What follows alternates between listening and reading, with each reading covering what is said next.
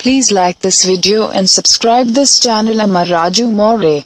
And also turn on notification bell. आणि आमचे पंतप्रधान सांगतायत कार्पेट टाका योगा करा आंग- आ, ब- तंगडी अडकली तर काय करायचं येणार सोडवायला बरं हे पंतप्रधानाचं काम आहे का या सगळ्या गोष्टींवरती तुम्ही करोडो रुपये खर्च करतात जाहिरातींवरती हजारो कोटी रुपये तुम्ही खर्च करतात पण या देशातली व्यवस्था सुधारण्यासाठी तुमच्याकडे पैसे नाही आहेत स्वच्छ भारत स्वच्छ भारत स्वच्छ भारत. अहो माझे एक मित्र आहेत त्यांची म- पत्नी मध्यंतरी त्यांच्या लग्नाचं काहीतरी साड्या बिड्या घ्यायच्या होत्या म्हणून वाराणसीला गेले. मी तुम्हाला खरं सांगतोय आणि वाराणसीला गेल्यानंतर तिकडे त्या गंगेमध्ये तिथे ते काय बोट गेल्यानंतर गेल्यानंतर करायचं काय तिकडे? तर ते तिकडे बोटीमध्ये फिरवते बोटीमध्ये फिरताना हे त्यांनी मला सांगितलं. त्या बोलले आम्ही फिरत होतो आणि फिरता फिरता त्या बोटीच्या बाजूनी तीन प्रेतवरती आली.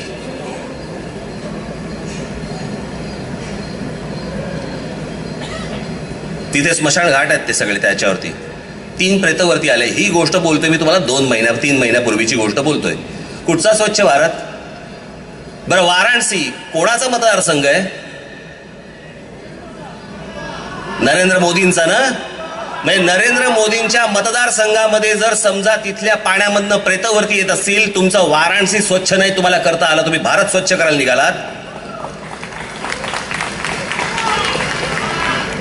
सेलिब्रिटीजना फोन करायचे आणि सांगायचे सकाळी एक तुमचा दांडा धरलेला म्हणजे झाडू धरलेला फोटो आम्हाला पाठवा म्हणून.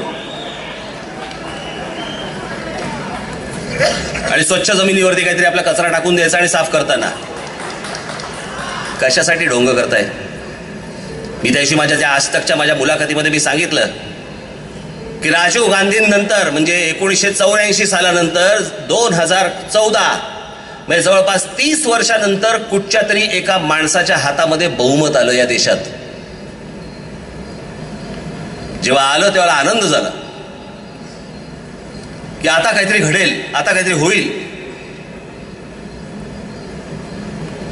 खरं तर माझी इच्छा होती की इतक्या तीस वर्षाच्या काळानंतर ज्याच्या हातामध्ये बहुमत आल्यावरती खरं तर नरेंद्र मोदींनी या देशातल्या लोकसंख्येला आळा घालण्याचा पहिल्यांदा काम करायला पाहिजे होतं की जो सगळ्यात मोठा प्रॉब्लेम या देशाचा आहे.